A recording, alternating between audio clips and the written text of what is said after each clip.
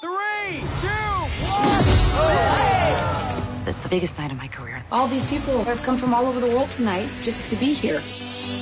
Don't just dump them. Float them in the wind. It should be magical. It only happens once a year, New Year's Eve. okay. It's a time when hopeless can be romantic.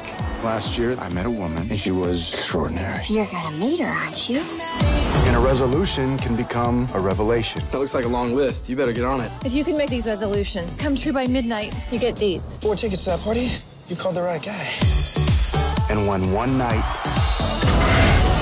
can change everything. No, no, no, no, no, no. This thing is dead. It doesn't work. Call the super. He doesn't work either. Hello, New York City.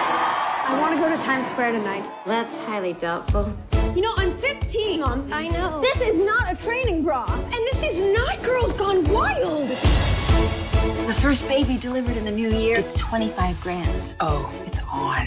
Let's go, honey.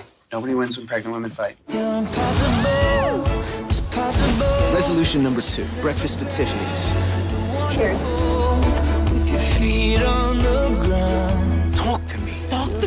What? Because it's New Year's Eve, you want another shot at it? Ah! She's just fooling around. I like fooling around too. Here we go. Get your noisemakers ready.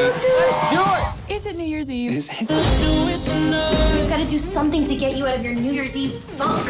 We could have our own party. You went out for a slice of pizza, and you may have run into the one. Who are you gonna kiss at midnight? I mean, you know what that is? Insanity? No, serendipity. And The countdown begins.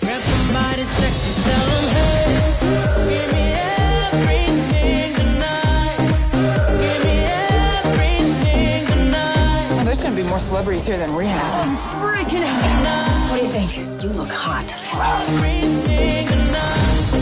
And for this one magical night, it's about getting another chance to do more, to give more, to love more. Because that's what New Year's is all about.